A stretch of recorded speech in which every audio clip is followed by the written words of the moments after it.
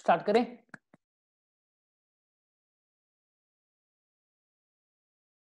बताइए पूछ रहा हूँ आप लोगों से मैं। जी सर। जी सर। ओके। ऑल सेट तो चलिए आज स्टार्ट करेंगे हमारा नया टॉपिक लॉटरी एंड विनिंग्स क्या आप सभी लोग को दिख रहा है ये? Lottery and winnings yes sir ठीक है।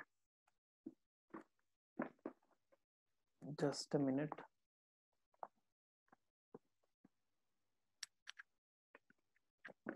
इसका दूसरा नाम है आपका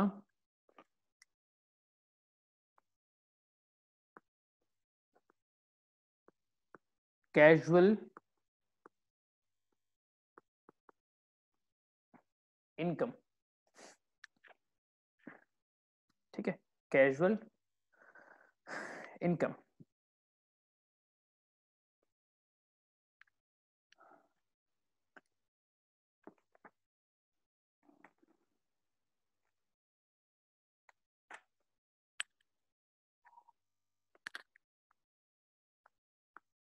section 56 subsection 2 clause 4 section 56 subsection 2 clause 4 ठीक है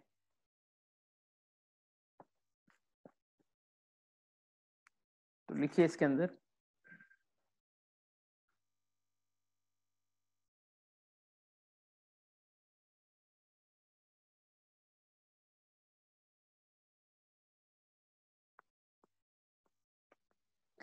income by way of income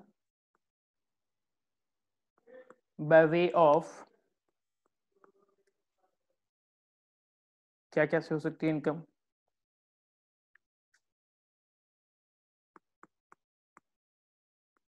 lottery हो सकती है। बैटिंग हो सकती है।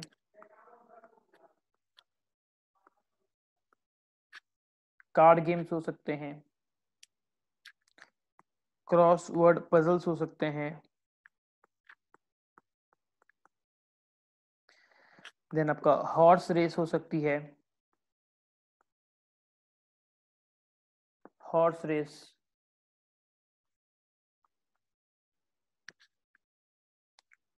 comma games of other sorts games of other sorts or gambling or gambling etc ठीक है ये सब केसेस अगर आपकी होती है तो आपको क्या हो जाता है वो कैजुअल इनकम ठीक है? तो इसमें हमारी बेसिस क्या होगी? Basis of taxability basis of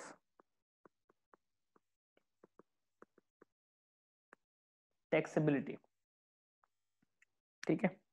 इसमें दो ऑप्शन हो सकता है।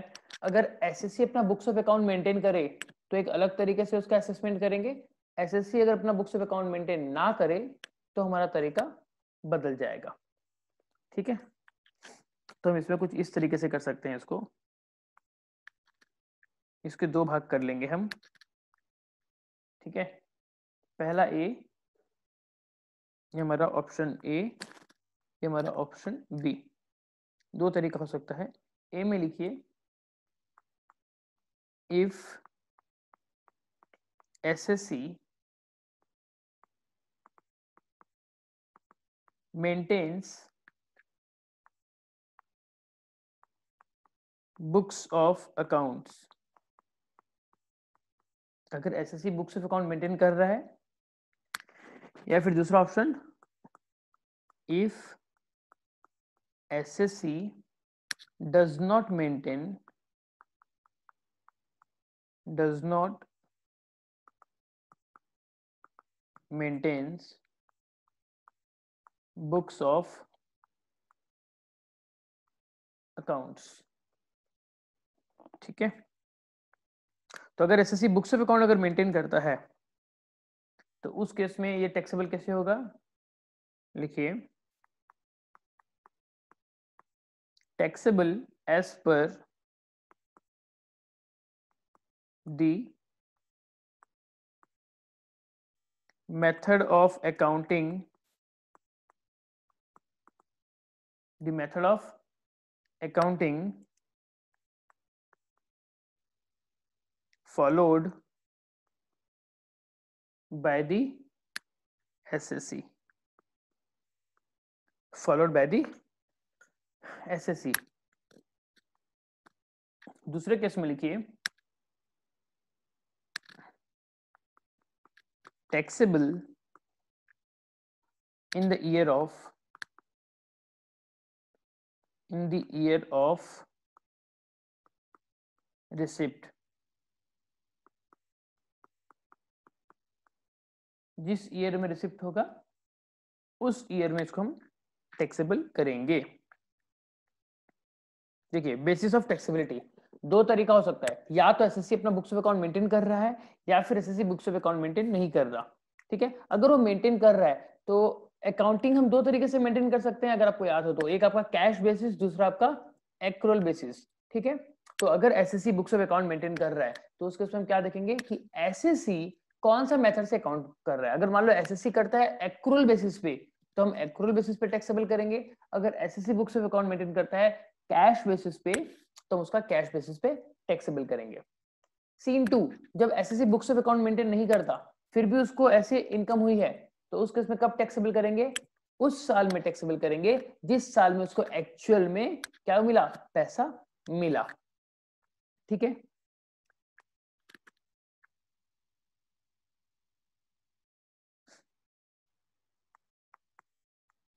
नोट लिखिए इसका। कुछ नोट्स लिखिए।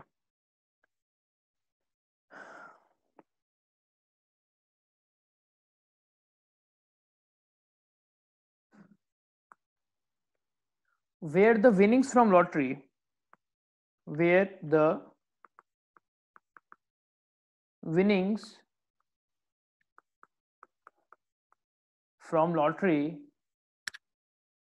are wholly in kind are wholly in kind or partly in cash partly in cash and partly and partly in kind.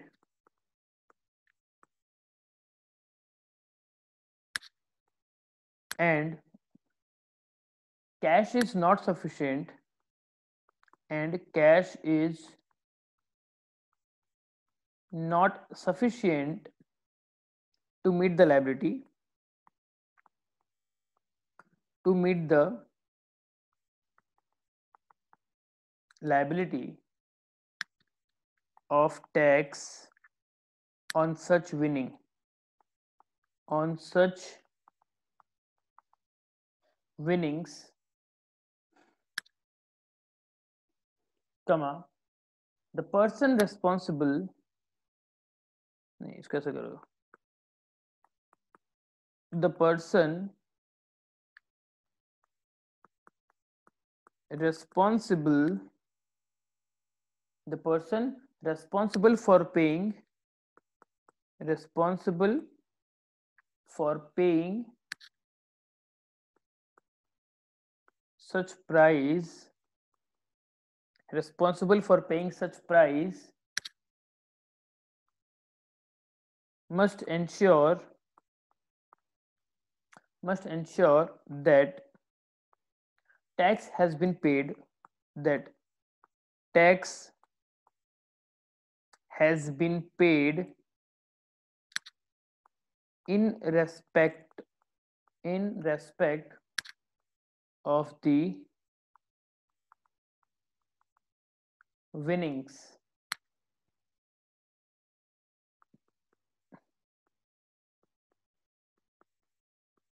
कब करेगा ये before such prize is released.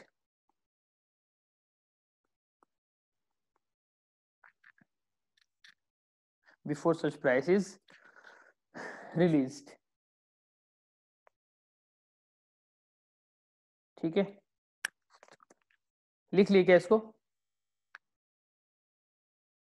लिखने के बाद प्लीज़ मुझे इन्फॉर्म कीजिए, क्या आप लोग का हो गया क्या? जी सर। हो गया सर। ओके। तो देखिए यहाँ पर क्या बोल रहा है? सिचुएशन को समझिए। ये बोल रहा है कि कभी कभी ऐसा होता है कि जो विनिंग होती है ना लॉटरी में जो निकलती है ज़रूरी नहीं कि आपको कैश मिले।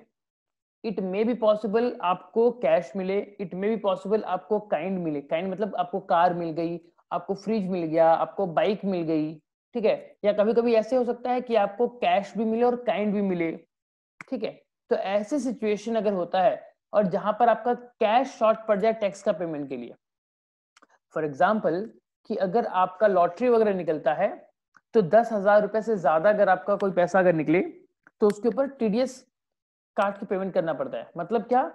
कि अगर आपकी लॉटरी निकल गई फॉर एग्ज़ाम्पल एक करोड़ की आपकी लॉटरी निकल गई तो उसमें से पहले तीस लाख आपको टैक्स पेमेंट करना पड़ेगा। क्योंकि आपका ये कैजुअल इनकम है।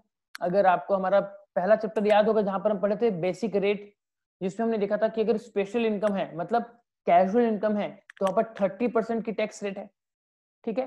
तो मान लीजिए कि आपका एक करोड़ का लॉटरी निकला, जिसमें से आपको क्या हो रहा है, सिर्फ़ दस लाख रुपए कैश पेमेंट मिल रहा है। बात को समझिए। नब्बे लाख का आपका क्या हो गया? कुछ एक काइंड हो गया। मान लो नब्बे लाख का फ्लैट मिल रहा है और दस लाख आपको कैश मिल रहा है। ठीक है? तो ओवरऑल आपकी आपको लॉटरी कितने की मिली? एक करोड़ की। तो वो एक करोड़ के ऊपर आपको क्या देखना है? थर्टी परसेंट मतलब तीस लाख रुपए गवर्नमेंट को जमा हो जाना चाहिए।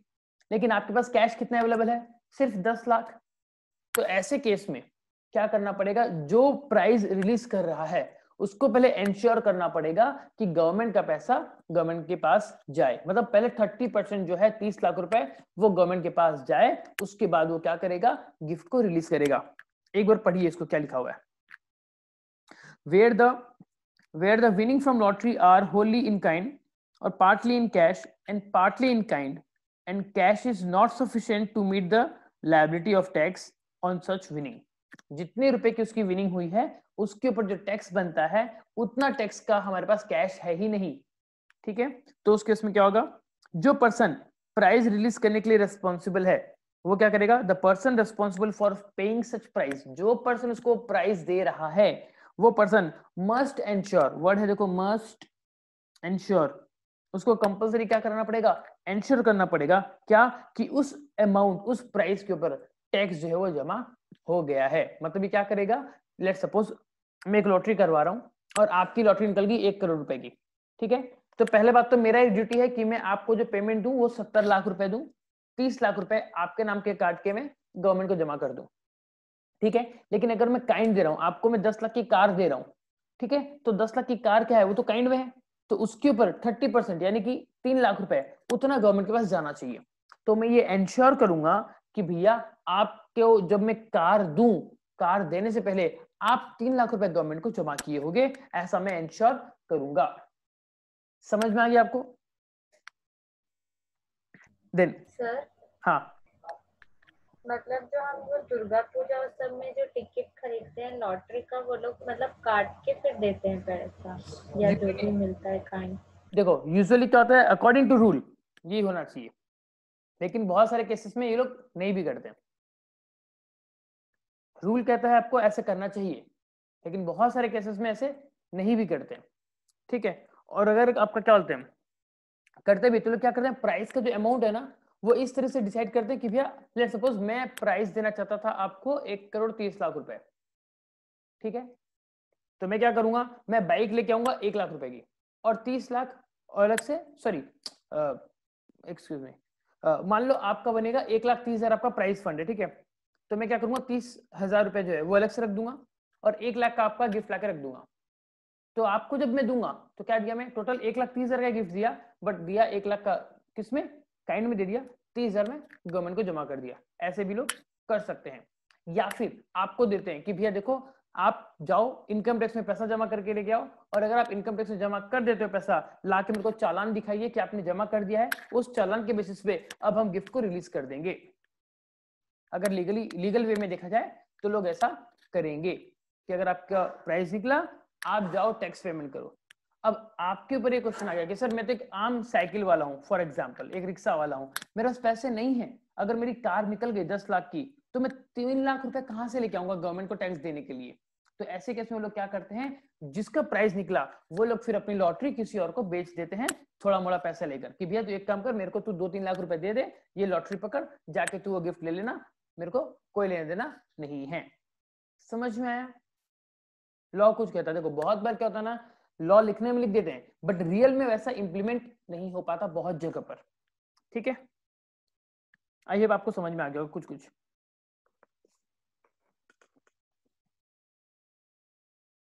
अब आगे देखिए। ये था हमारा नोट नंबर वन ठीक है? नोट नंबर टू लिखिए। नोट नंबर टू लिखे no expenditure is allowed no expenditure is allowed to be deducted to be deducted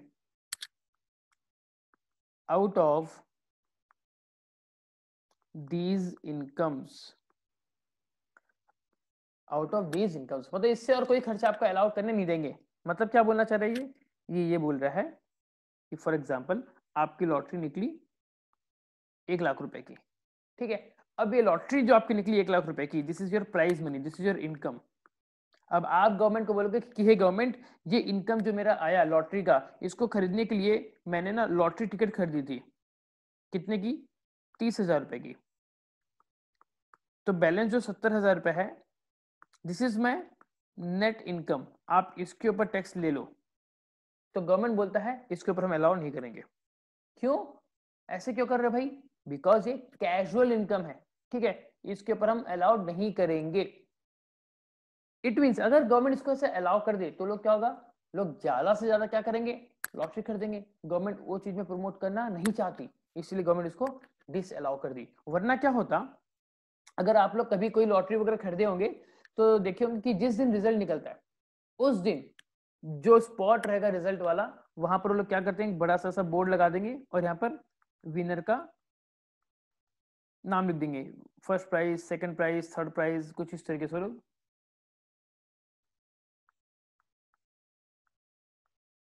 ऐसा ट्रॉफी लगा के लिख देंगे। अब वहाँ पर क्या था जिस चीज़ का रिज़ल्ट निकला वो तो अलग बात है लेकिन जिसका नहीं निकला वो लोग वो लॉटरी टिकट वहीं पर छोड़ के चले जाते हैं। देखियो ऐसा कभी? जहाँ पर ये जो रिज़ल्ट का बोर्ड है इसके आसपास वाले एरिया में बिखरी पड़ी रहेंगी लॉटरी की टिकट्स देखे हो कि नहीं देखे हो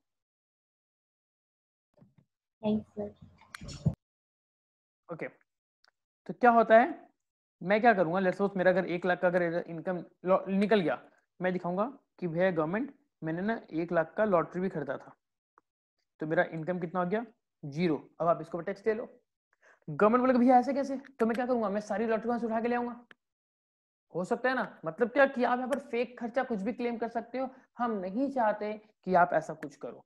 सिंपली अगर आपकी लॉटरी निकल गई तो भैया टैक्स दे दो। अदरवाइज़ हम आपको नहीं छोड़ेंगे। ठीक है? तो इसलिए कोई भी खर्चा उसके लिए अलाउड नहीं होगा। कोई भी खर्चा नॉट ओनली लॉटरी अब बस आप ऐसे भी कर सकते हो कि सर, ये जो लॉटरी निकली ना, इसके लिए मैंने क्या किया, जो लॉटरी का नंबर निकाल रहा था, मैंने उसको कुछ कमीशन दिया। मैंने उसको कुछ कमीशन दिया और कहा कि भाई, एक काम कर जितना लॉटरी निकलेगा फिफ्टी परसेंट तेरा फिफ्टी परसेंट मेरा। तो मैंने क्या किया, मैंने पचास हज़ार रुपये उसको कमीशन दे दिए। तो जो बैलेंस पचास हज़ार रुपये है, आप इसके ऊपर मेरा टैक्स लगाइए। गवर्नमेंट बोलेगा, बिल्कुल नहीं। गवर्नमेंट बोलेगा नहीं, मैं पूरा एक लाख के ऊपर लगाऊँगा। क्योंकि अगर मैं अलाउ कर दिया तो ऐसी वाली गलत काम को आप क्या करोगे? अंजाम दे दोगे।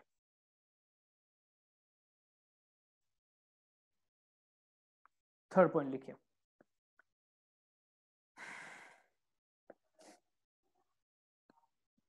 अंडर सेक्शन 115 बीबी 115 बीबी मतलब स्पेसिफाइड टैक्स रेट था यहाँ पर, है ना?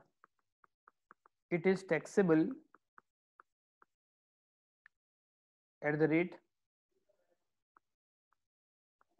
30 percent thirty percent इसको आप क्या करोगे? टैक्सेबल करोगे। फोर्थ पॉइंट लिखिए fourth point chapter six A क्या था याद है? चैप्टर सिक्स ए क्या था याद है किसी को? Deduction exactly exactly. तो लिखिए। Deductions under section 80 C to 80 U is not deduction are not available are कर दो are not available. मतलब क्या? वो आपको अलाउड नहीं करेंगे. फॉर एग्ज़ाम्पल मेरा इनकम हुआ एक लाख रुपए। ठीक है? मैंने गवर्नमेंट को कहा कि, सर, मैंने पचास हज़ार रुपए का क्या कर दिया मालूम? मैंने पचास हज़ार का एल खरीदा। तो एल एक ऐसा इन्वेस्टमेंट है जिसका डिडक्शन आपको मिल जाता है। तो गवर्नमेंट बोलेगा, नहीं, मैं ऐसे भी अलाउ नहीं करूँगा। ठीक है? अगर आपका कुछ भी कैजुअल इनकम हुआ तो उस केस में जो डिडक्शन मिलता था 80 सी से 80 यू तक का एल में इन्वेस्टमेंट कर दिए फिक्स डिपॉजिट में इन्वेस्टमेंट कर दिए, या आपका मेडिकल इंश्योरेंस खरीद लिए म्यूचुअल फंड्स खरीद लिए से डिफरेंट डिफरेंट डिफरेंट वहाँ पर है लिस्ट है, लंबी सी लिस्ट है। अगर वैसे आपने कुछ इन्वेस्टमेंट किया है तो हम उसको इग्नोर कर देंगे और आपसे पूरा टैक्स लेंगे। तो आपका फोर्थ पॉइंट क्या हो गया? Deductions under section 80 C to 80 U are not available पांचवा लिखिए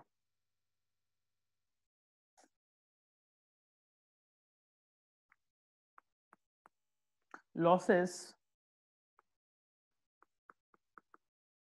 falling under F A L L I N G falling losses falling under head income from other sources other sources or under any other head. Any other head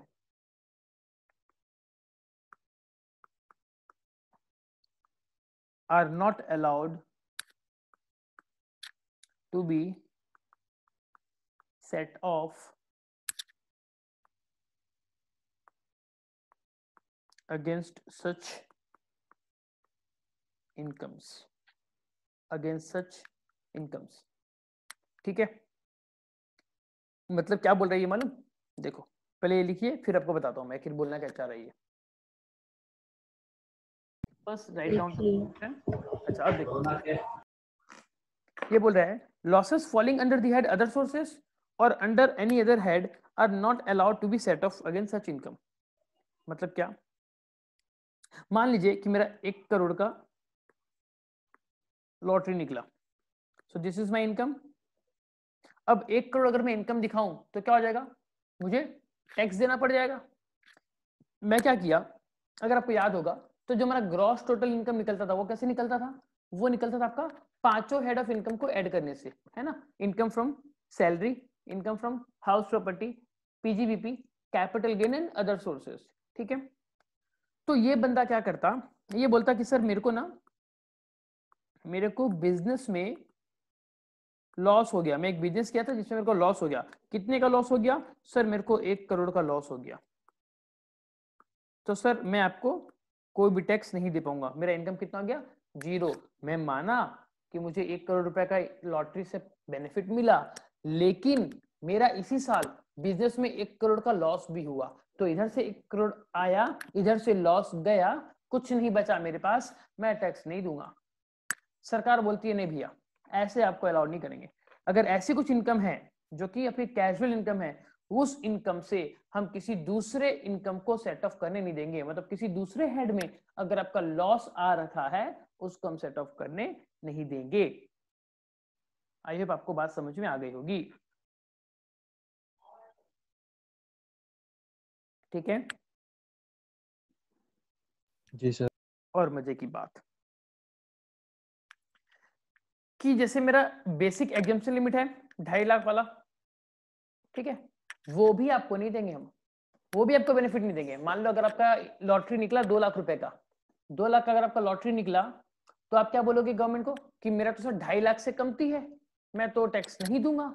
government बोलता है कि भैया, इस चीज़ में basic exemption का benefit भी नहीं मिलेगा। कि लॉटरी खरीद रहे हो मतलब आप क्या मस्ती चढ़ी आपको? अगर आपको मस्ती चढ़ी है ना, हमको भी मस्ती चढ़ी है। टैक्स तो दू। टैक्स तो देना पड़ेगा। समझे? तो लिखिए। The basic exemption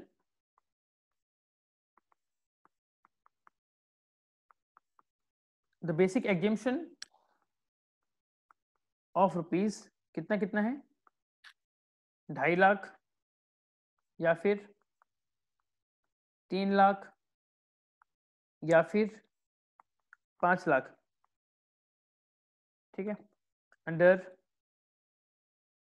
slab rates of slab rates of tax system is not available क्यों? क्योंकि आपको थर्टी परसेंट तो टैक्स देना ही है। Is not available in respect of such incomes ऐसी इनकम पे आपको तो टैक्स थर्टी परसेंट देना है, इसलिए बेसिक एग्ज़ाम लिमिट कुछ नहीं है आपके लिए। कुछ नहीं।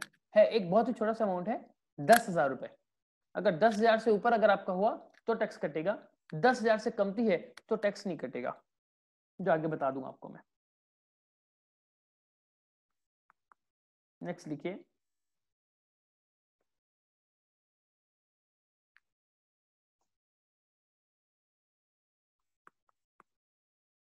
TDS at the rate of 30%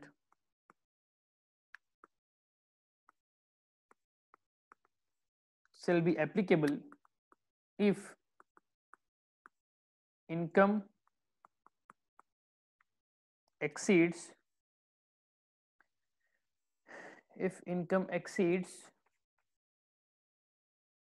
income मतलब यहाँ पर प्राइज मनी समझो या तो इनकम के बगल में लिख लो प्राइज मनी भी ठीक है ना इनकम मतलब प्राइज मनी भी एक्सीड्स कितना?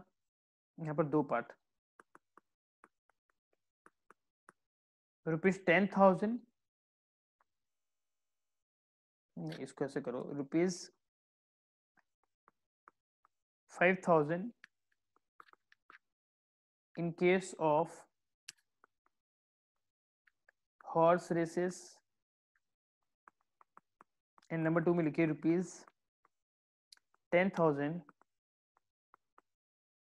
in other cases in other cases अगर आपका हॉर्स रेस में पैसा आया तो पाँच हज़ार रुपए तक अगर आप जीतते हो, कोई टैक्स नहीं देना पड़ेगा।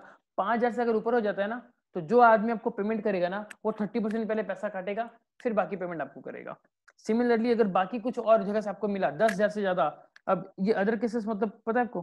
अदर केसेस मतलब जैसे कि लॉटरीज जैसे कि आपका क्रॉस वर्ड पजल्स जैसे कि आपका कार्ड गेम्स जैसे कि आपका टीवी शो गेम्स एटसेट्रा है ना? ये सब जगह में अगर आपको दस हज़ार से ज़्यादा मिलता है तो आपका टैक्स तीस परसेंट कटेगा। ठीक है? नेक्स्ट पॉइंट लिखिए नेक्स्ट पॉइंट लिखिए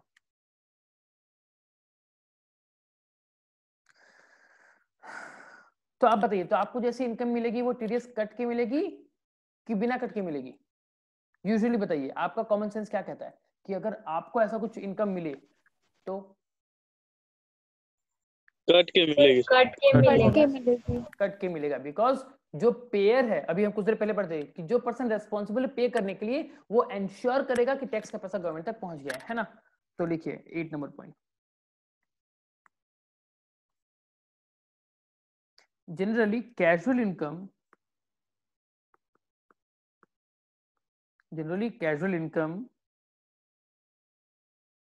is received after TDS is received after TDS इसको हम ऐसा बोल सकते हैं net of TDS net of TDS मतलब total income minus TDS net of TDS सौ रुपया माइनस तीस रुपया, सत्तर रुपए तो जो सेवेंटी है वो क्या है? नेट ऑफ़ टीडीएस ठीक है ना? तो हमको क्या करना पड़ेगा? उसको इनकम में अगर हम दिखाना चाहते हैं तो हमको क्या करना पड़ेगा? हमको वो टैक्स वाला पार्ट ऐड करना पड़ेगा।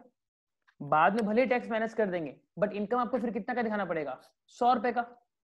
समझ में आ रहा है मेरा बात मैं क्या बोलना चाह रहा हूँ? जनरली आपको जब इनकम मिलती है, वो टैक्स कट की मिलती है। मान लो सौ रुपए का इनकम था, तीस रुपए टैक्स कटा बैलेंस आपको सत्तर रुपए मिले। तो आपको आपका इनकम वाले पार्ट में क्या दिखाना पड़ेगा? जो आपके पाँच हेड ऑफ़ इनकम है, ऊपर वाले पार्ट में जब आप दिखाओगे टोटल करोगे, कितना दिखाओगे? पूरा सौ रुपए दिखाओगे इनकम फिर नीचे में आप क्या करोगे? आप लेस करोगे टीडीएस बोल के, तीस रुपए। फिर बैलेंस आपका, और अगर कुछ टैक्स बचेगा तो देना रहेगा। तो इसको यहाँ पर आप लिखिए hence we need to we need to gross up gross up मतलब सत्तर है तो उसको सौ में लेके जाएँगे और दिखाएँगे। तो देखिए कैसे होगा? ग्रॉस अप कैसे होता है लिखिए। Grossing up is equals to amount received divided by 100 minus TDS rate 100 minus TDS rate एक एग्जांपल लिख सकते हो आप लोग। एक एग्जांपल लिख सकते हो यहाँ पर।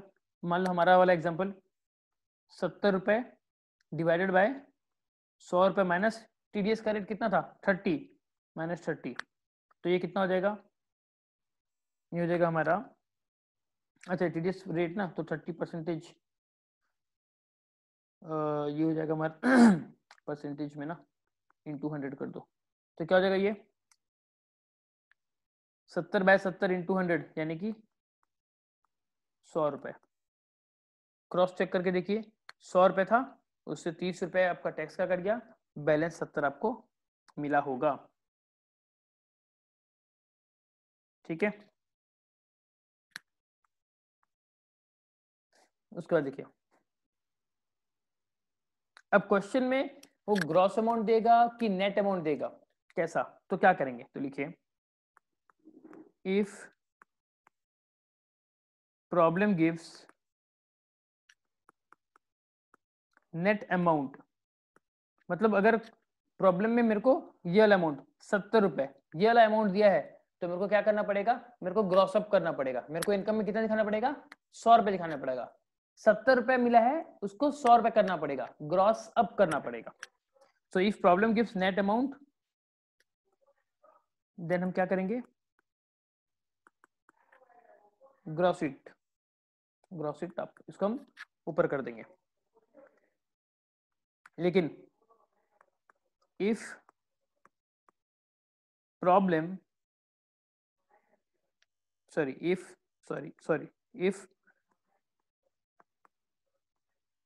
nothing is given. Question में कुछ दिया नहीं है। तब क्या मानोगे? एज्यूम कर लोगे। Assume it is gross up ये मान लोगे कि वो ग्रॉस अप होके है। मतलब वो सौ रुपए ही मतलब टोटल वैल्यू है। उसके बाद हमको टैक्स काटना है। ऐसा आप मान लेना।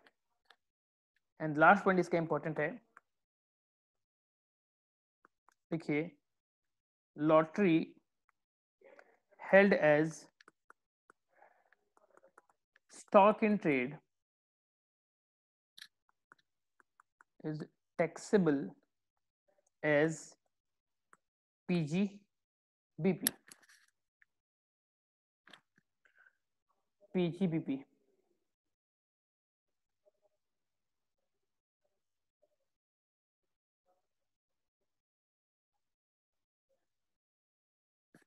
ठीक है ये केस था C I T versus Manju and Co. Manju and को। Manju and co.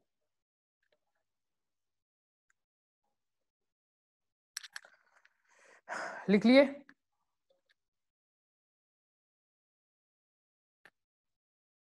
लिख लिए क्या आप लोग? यस सर यस सर कुछ डाउट है अभी तक का डिस्कशन में? बहुत ही बेसिक बेसिक बातें खाली हम किए अभी तक तो। नो सर ओके तो अच्छा एक चीज़ और बताइए कि जो हमारी रेगुलर वाली जो स्क्रीन होती है व्हाइट स्क्रीन वो ज़्यादा कंफर्टेबल है आपके लिए कि ये ब्लैक स्क्रीन ज़्यादा कंफर्टेबल है? सर ये ब्लैक स्क्रीन तो नाइट में रहा है ये वाला अच्छा लग रहा है। बिकॉज़ ये शायद हाँ मैंने सर आँखों को तकलीफ़ नहीं हो रहा। एग्जैक्टली ठीक है तो चलिए लेते हैं ब्रेक ब्रेक के बाद फटाफट आते हैं और हमारे इस चैप्टर को आगे बढ़ाते हैं।